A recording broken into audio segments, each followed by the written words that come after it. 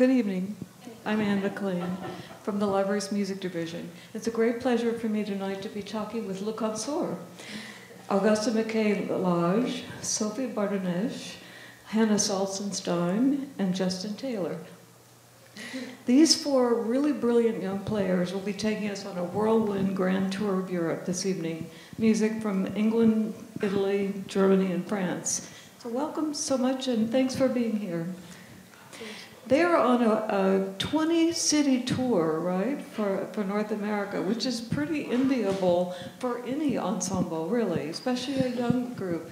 And a lot of really major venues are presenting them. Um, you just came from, what was it, Boston? Yeah, yeah we played in Boston two or three days ago. And yeah, and of course, Boston, Washington, it's for us such an honor to play in these uh, very well known halls and very, with very beautiful acoustics. So we are so happy to be here. I had the pleasure of working with Justin because he was one of the virtual artists we presented during the pandemic, and we presented his recital at the beautiful is it Chateau d'Assas. Yeah. Yeah, yeah. I, I, I mean, of course, I would have preferred to come and play for you. but uh, when Anne McLean uh, told me I was supposed to record um, a recital, I went to a very nice uh, chateau in the south of France, near Montpellier and it's a 18th century chateau with a historical harpsichord, so a harpsichord built in the 1730s. So it's always uh, quite incredible for us musicians to play on historical instruments, and so it was the perfect occasion to record it for you. And I think you can still see that on our website, actually, so check it out. Um, I really look forward to having you hear from them some of the projects they're doing because each one of these artists has major projects, all sorts of different things that they're working on. Some with period instruments. Um, I know like Trio Dixer is one that you're involved with. Um, and so on. But, but for now, let's start with the program itself, which is such a fascinating and very rich program and relates to the exhibit that we have in the, in the uh, foyer, which we can talk about as well. But um, this program really spotlights great violinists, violinist composers, I should say, people who really created the repertoire, and Corelli in particular, and we have a case of Corelli out there. And you underline the stature of the trio sonata with two violins, with the Dandrieu program, uh, Dandrieu sonata as an important element. You've talked about this as one of your favorites and a kind of a watchword for the group. And I'm curious, not so many people know his music so well. What about this particular project, uh, program um, element has been your favorite? What about that piece? Actually, good evening first. um, this is the sonata by Dandrieu is the very first sonata we performed together when we decided to create an ensemble. Um, Justin knew this music before, and so we just read it, and we it was love at first sight. really, because this music was never recorded before we decided to record and to play it in concert. And for us, it was, it was such a pity because it's really beautiful music and. Uh, the the influence it's influenced by Italy, but also with a French touch. It's the unique music for us. And this composer, Jean-François Dandrieu, is not famous at all. Rameau, of course, is famous, but he didn't make, a, he didn't manage to, to have success, but success, sorry. But also because maybe he was a monk, so he was playing the organ. He was not in the popular circle, you know. And but his music is so beautiful, so we are really happy to present this music to to you tonight. Sophie has written the notes in your program, so they're and they're excellent. They they tell me told me a lot of things that I, I did not know about at all. This is and you talked about the spirited pieces and um, characters, different characters for this particular piece. What talk a little bit about that and the interplay between the two violins. Um, well, this sonata is in four movements, and the, so the very first is um, actually the Dandrieu is uh, playing with the, the, the duo in between the violin. I begin with the first part, and then it's uh, the same with the um, second violin. It's really pretty much influenced by Italian uh, rota, how to say rota? Suspensions. So the first movement is, um, um, yes, um, melancholic one, and then the second one is an allegro uh, with a fugue and a contre-sujet. Sorry for my vocabulary is not so good in English, but um, yes, and the third one is really influenced by what the, co- the composer you just said, Arcangelo Corelli. And uh, the, the fourth is a jig, which is particularly dance-like movement, very French one, um, very rhythmical.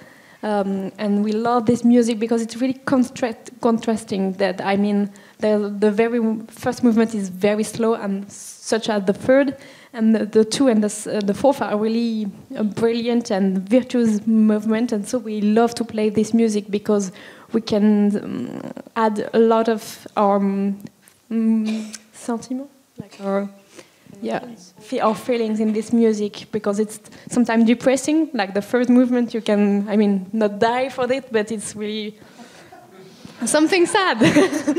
and just after, nothing comparable. I mean, it's uh, such a, a happy piece, such a dance, dancing, so yes, very, very brilliant. So we love to play this sonata, and I think it's it's a great sonata to hear because it's so contrasting. You never had the, a time to to feel like To get to, to get bored. yeah, it's just enjoyment. So that is.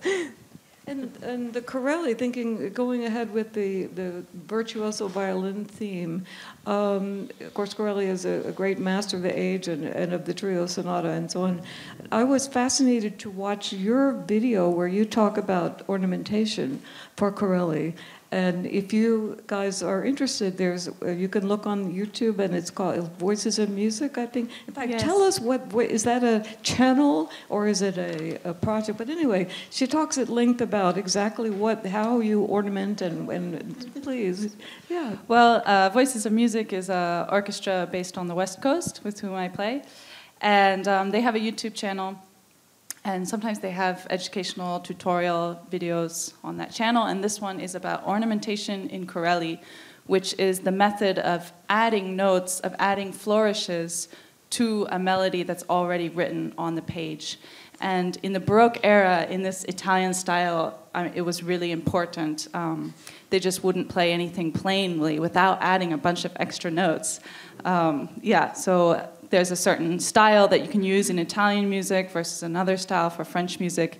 And so for Corelli, we have a, a Corellian style that we use. And, and it's nice with the two violin parts because in these trio sonatas, they're very much intertwined with each other. They're dancing around each other, they're playing in the same registers. It's very much two voices singing together rather than a melody line with a lower line. And so the ornaments can really um, flow in and out of each other in a very florid way, which is very Italianate and a lot of fun to listen to. I hope. I think so. Um, and I was reading in, uh, somewhere that the ornaments that are in the Roger edition, no, uh, 1705, may be the ones that he did himself. They may be, we don't know for sure, but it's, it's very likely. And so that's a great glimpse. We can see, if it's true, we can see exactly what Corelli himself would have done, or if it wasn't him, at least one of his contemporaries, someone living at the time. Um, yeah, and then actually for the Corelli sonat, violin sonatas, we have examples of many other composers adding their own ornaments through the 18th century and, and, and uh, early 19th century, and you can see how the style develops and how the ornaments change. It's very interesting. So, And uh, in this edition that you can see in our glass case tonight, it says one edition, the 1705 one, says it's correcting 600 errors from the past. and the other one, the 1715 edition, also on display, says it has been carefully edited, carefully corrected by ye best Italian masters. So we, we tried, I was saying to them earlier, we try to match what we have on display to what's being performed. And I, I got a kick out of, I can't resist saying this, got a kick out of this comment that I saw in the video that Augusta was in, say, uh, from a listener or a viewer rather, saying, this channel is one of the few things that keeps me sane. But um, so back back to the program for a moment. Maybe talk a little bit about the fact that you chose two La Folias, and the, the, the one from Vivaldi and one from a rather unknown composer, Giovanni Reali, whom I didn't know. Yeah, my turn. okay. So yes, um, so there are two folias, and uh, one by a very very famous composer, Antonio Vivaldi, and the other one is by Giovanni Battista Reali, which is another um, like sort of composer we, uh, I mean, we found, uh, such as Dandrieu, and. Um, actually he was also living in Venice and he was uh, he published his um, trio sonata opus like four years after Vivaldi's trio sonata opus so it's kind of obvious that he was I mean he, maybe they met we don't know but there is uh, a lot of uh, similarities and the one uh, the most um, like obvious similarity is that the 12th sonata is also a folia which means uh, like variations on a theme very ancient theme. And I mean I really like the Reali's folia for something that they already know.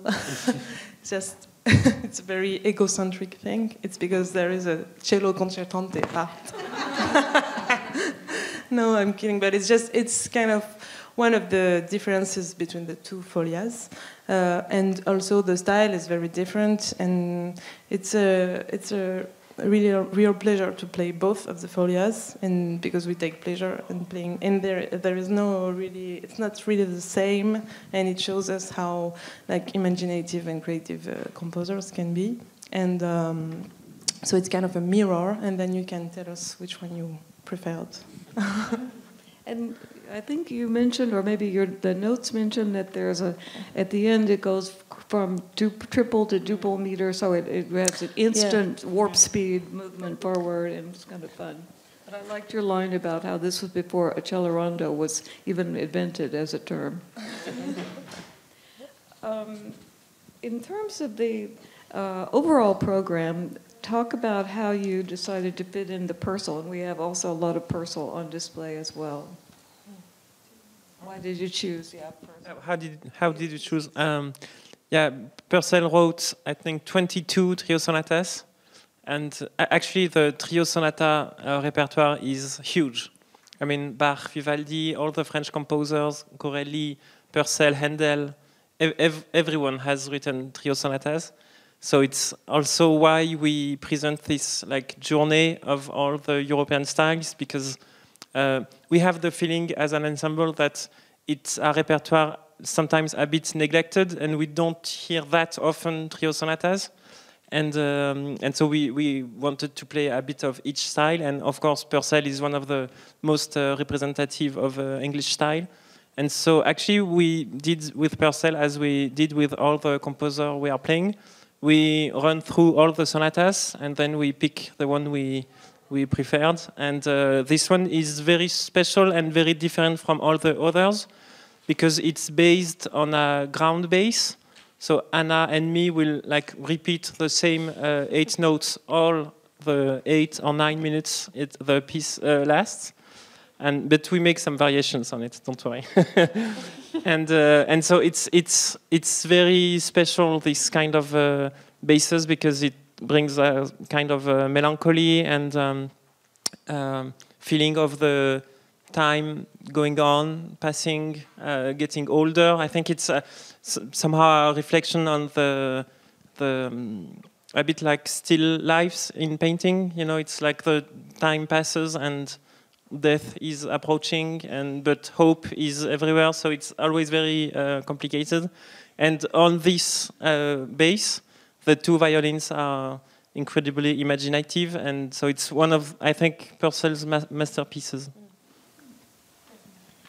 Um, thinking about the projects that you guys are all doing um, eh, together and and uh, separately, you have so many very. You're a very curious group. You're a very adventurous group. You're doing so many things. And would you mind saying a little bit about some of those projects?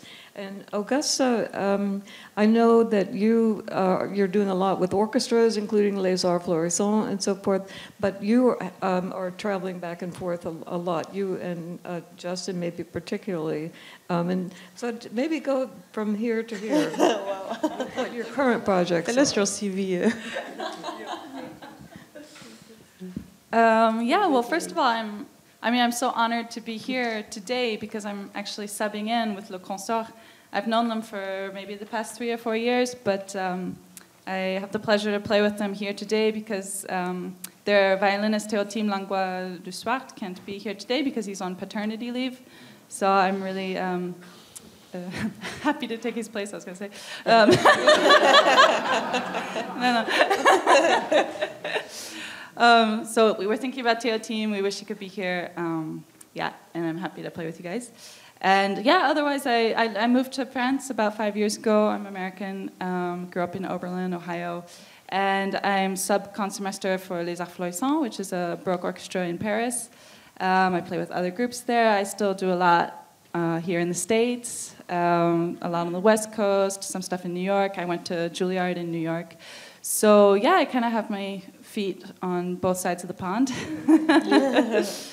um, yeah, that's about, about it. Oh, and instruments. Maybe I'll save Justin for last. I have something to ask him about that. But instruments, Sophie, you have an instrument from the is it Junior Jumpstart Foundation? But what instrument is it, and how does this influence your work?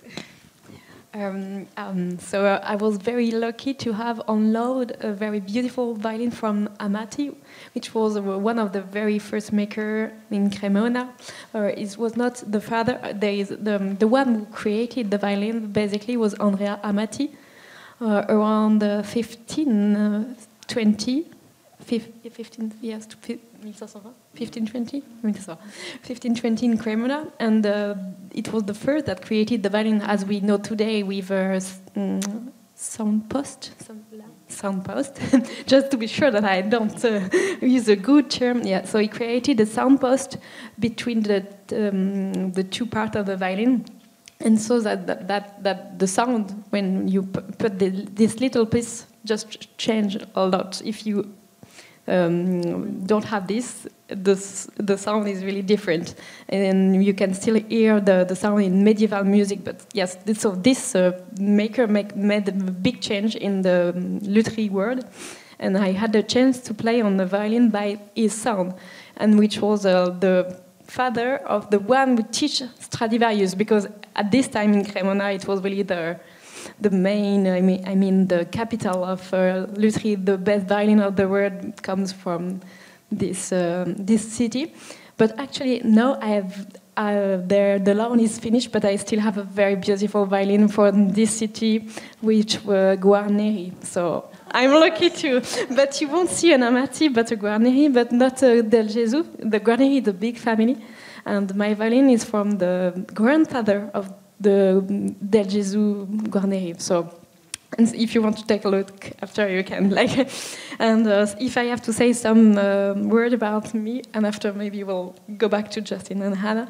I'm also playing with Les Arts Florissants in Paris, and uh, so we created Le Consort, and I just finished recording my first solo album, which will be dedicated to women Baroque composer of a French Baroque composer, and I was doing research on this subject since um, more than three, four years to find like, and I really, I'm really happy because I found some scores never recorded, and in fact, there were a lot of women uh, were playing music and writing music in the 18th century, and no, nobody heard about them because it's still manuscript. So I'm really happy to to play this music and to and to so people can discover the music for the first time and listen to it. So that the recording will be out uh, in next fall, and that's my last project. Uh, so um, yes, and but they have a lot of projects. and these are all, like I say, there's just so much that is rich that they're doing. It's, it's, it's a great variety. And I'm interested, can you tell them about your invitation uh, to the Schumanns, among other things? Uh, yes, so that was um, so uh, a recording that was out in last September that we recorded uh, at the um, Museum of the Cité de la Musique in Paris. Uh, it's um, we recorded on um, instruments from the museum, so a very uh, old piano um, that um, from the end of uh, 18th century, uh, 19th century, sorry, like 1870, uh, I think, a bit late, a bit um, after Schumann's di died, but still uh, Bösendorfer, and uh, I played on the Guarneri de Venise a very very beautiful instrument. And it was uh, so we recorded with the Théotime, uh, Langlois de Swarte and uh, Fiona Mato. It was uh, like a whole project around Schumann uh, and Clara Schumann, like um, a sort of um, way to recreate uh, a salon, uh, a musical salon that they could have lived before uh, Schumann uh, became to lose his, mind, began to lose his mind a bit. so it was like the happy and uh, love years, and so they they met a lot of composers such as Mendelssohn and Brahms, but also like Niels Gade, which is a very unknown composer now, but and also Theodor Kirchner. So it was a way to invite uh, the audience to hear the the sound of the old piano because it was built uh, around the sound of this old piano and also old instruments with the gut strings, and also to discover some new uh, um, repertoire and uh, and new uh, composers. It was very very special and uh, project very um, very personal, and uh, we had the chance to to play on these these instruments that are in the museum. I mean, we had to go there. And it was really like an immersive project and very interesting for us and for me to discover this, to have the chance to play these instruments. Probably uh, because I, I mean, it's one of a life, uh, one um, one experience in a life. So uh, it was uh, really special, and I like my cello too. But I mean. Yes, so yeah. It's so wonderful to, to, to know that you have all experimented so much with different instruments yeah. and how this changes your life. And I remember you said this, Justin, when we were talking, that you were interested in playing on pianos, not just harpsichords, and I, I was remembering that. And in your new album, you have, uh, uh, if you can talk a little bit about the Bach piece that you're going to be doing, the, the one that was transcribed especially by Bach. They're so beautiful and so well known as an oboe piece. But also about your album. He has a very rather recent one, Bach et l'Italie. And um, this reminded me of your comment about the piano because I think you're playing an Erard piano on this recording at some point, but I don't. I haven't heard the recording yet. Talk about all that. Yeah, I, th- I think like the what we all share um, here as mus- musician is trying to um, match together our repertoire and the cor- correct instruments. Uh, the each repertoire uh, is meant to. So so yeah, each of each of our projects is it's all about this actually. And so uh, yeah, I played uh, on a Erard piano also from the Cité de la Musique in, in Paris.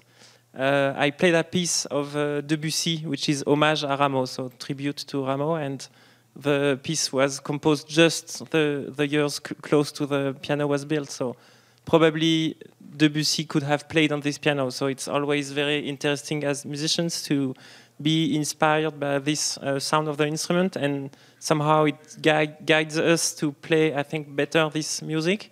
And uh, yeah, my actually my, my just um, most recent album was uh, nominated this evening in a quite famous TV show for classical music, but I, I lost. I, I didn't have the. but I, I'm happy to, to be here, so no no problem at all.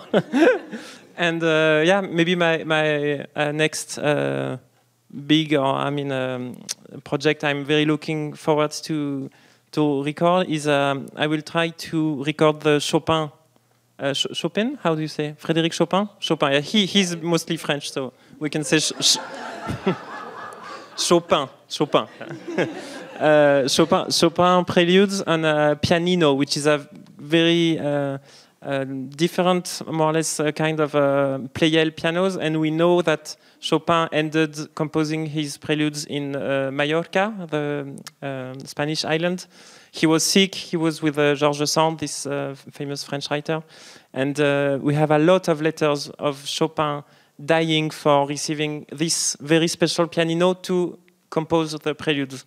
And so it's basically never have, have been done to play the preludes on pianino. So it's my next big uh, challenge, I would say.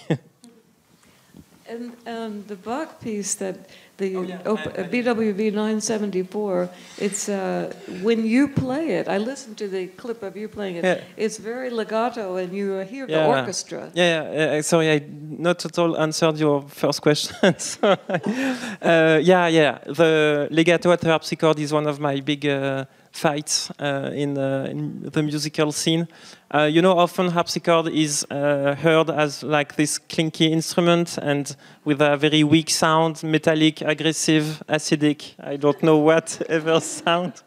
And but of course, I think it's much more than this, and it's also a very sensitive and sensual instrument. And so, la, la, the piece I will play at the very end of the concert is like a, a, a motto of this uh, of this uh, aesthetic, and uh, it's imitating the oboe. Uh, the original piece is for oboe and string orchestra. So my left hand will repeat chords, but I try to arpeggiate them a lot, not to have uh, too much ver vertical uh, um, musical feeling.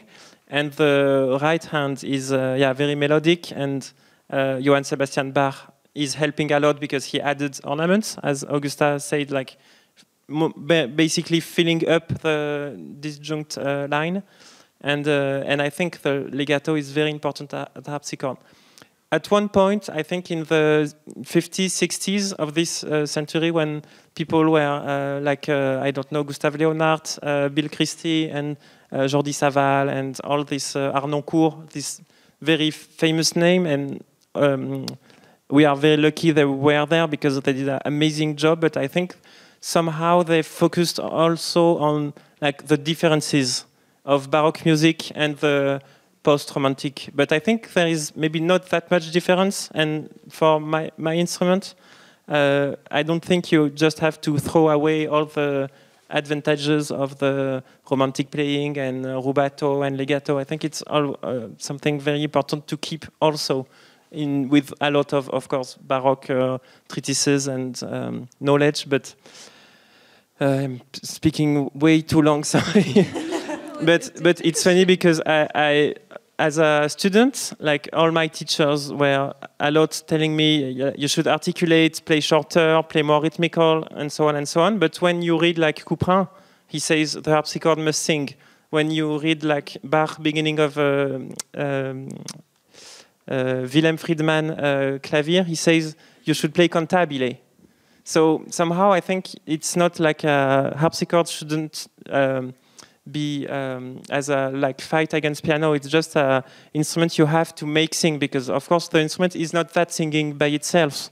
But I think the musician has to uh, put in some um, uh, yeah legato sensuality and um, uh, yeah uh, well so, yeah, they're, it's very interesting, also generational, you know, different perceptions. And as you say, these were masters of another time, and now you're. But, but I, I mean, I don't want to mi- misinterpret my my. Uh, I mean, I, I'm I'm yeah very. Um, I, I know they were amazing uh, uh, musicians, and uh, also Wanda Landowska. Her harpsichord is just in the next next next door building in Madison Building, and uh, I think she brought also a lot of of to this repertoire. But yeah, just just uh, another generation. You know, uh, the other question I was going to ask you about was the, the piece on your program, the Les Sauvages.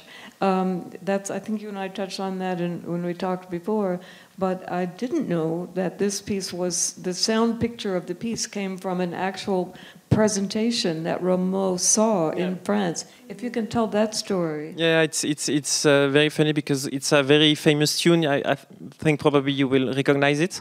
And um, yeah, Rameau was this very um, inventive composer. And an anecdote tells he they were like a foire. How do you say foire? Like a foire? Do you know foire? foire in French. It's uh, I don't know. It's it's like a, outdoor uh, event with uh, some theater, some uh, uh, animals, some uh, fair. Yeah, fair. And so Rameau was at a fair in in Paris, very beginning of the 18th century, and there were also a troupe of um, Oriental music and I'm very very exotic.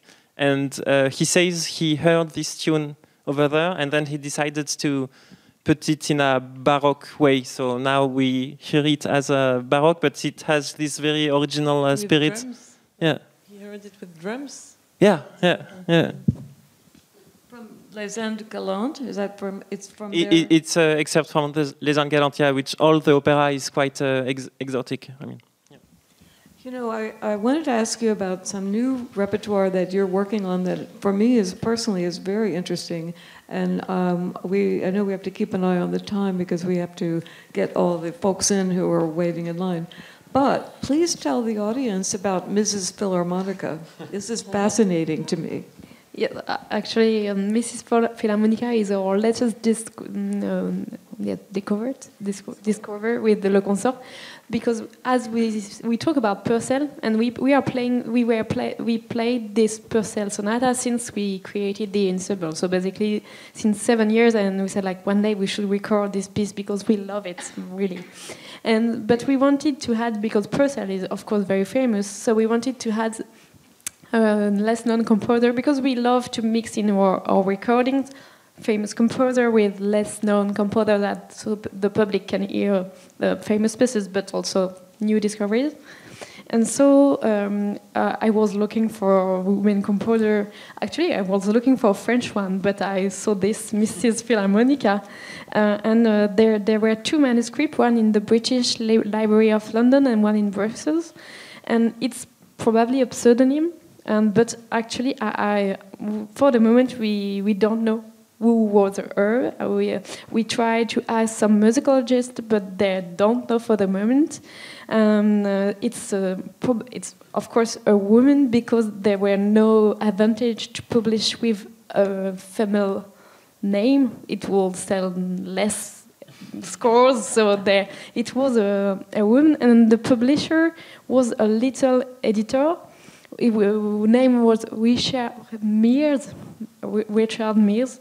He was playing the bass um, viol de gamme, the, the gamba. He was uh, also building instruments, editing music, doing a lot of little things. But it was not a good, uh, a big uh, editor. Um, and so, for the moment, we don't know nothing about her, but her music that we we are we just record and that we are playing in concerts. It's uh, two books of six, six sonatas, so 12 sonatas in total, and it's very much influenced by Italy. So the pseudonym means Philarmonica. So um, she she probably loves Italian music, and she probably knew the famous Corelli. always Corelli is always some, somewhere with the trio sonata because he was the, he created the genre. He was really the master. So yes, uh, uh, this Mrs. Phil- Philarmonica was influenced by the, this music. But yeah, I can say nothing more for the moment. We're all doing research to find out who is she, but for uh, um, we can play the music, waiting what who she she were she was. It's still, a, is it a recording yet? Yes, It is. It's just out since two months. Bravo. Yeah, Yes. that's great. Wonderful. Uh, well, I think we have time for just maybe one or two quick questions, and then I'll get a high sign from my colleagues that they need to let people in. Does any, yeah, you have a question? Yeah.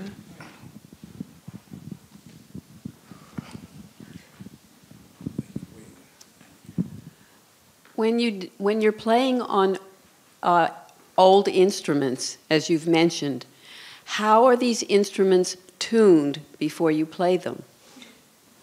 It, it really depends on the, if, if it's strings or harpsichord. For harpsichords, often the pitch is a bit low because the the highest it is, the most um, tension the harpsichord has. So on old uh, harpsichords, they often tune it like half a tone underneath, uh, under the usual pitch. So my like my two last recordings are in 392 and not in 415 because I recorded on an original um, instrument. But actually, they tune as uh, modern instruments. I mean, you know, like we are playing on all violin and cellos, and but the strings are not old and they are new, of because the string break, and so we have to change, and so it's new string and also new pegs.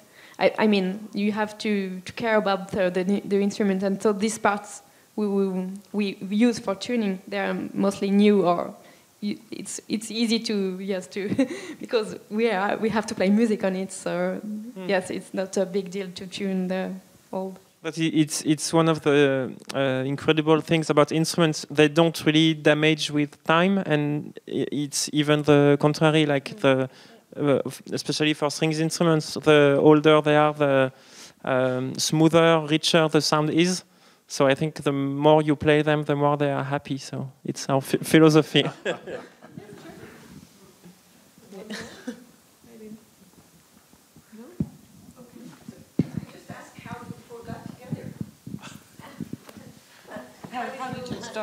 Ah, ok, ok. Tu veux, tu veux, vas-y, ou Anna ou... So uh, actually, actually, we uh, we met uh, seven years ago in the Conservatoire de Paris. Justin knew each of, of us, but it actually it's particular because we have Augusta Yeah. stepping in, which uh, um, but uh, we know we know Augusta since uh, well, four or five years. But it it was at the beginning just love for baroque music, and we, we just tried to to play music, and we said like. Ah, that's, that sounds good. And this music was never recorded. Let's play it in concert, and and that's how it, it begins. And now we are here to play Yeah. it. So it's we are very happy indeed.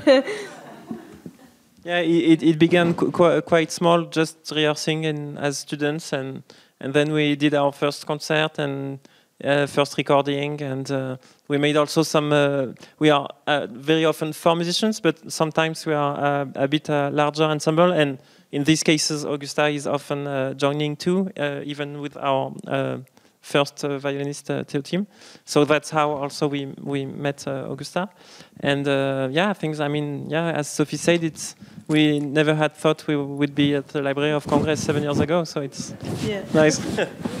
Looking forward to play for you tonight. Playing Dandrieu in Washington. Dandrieu in Washington. like, yeah. wow.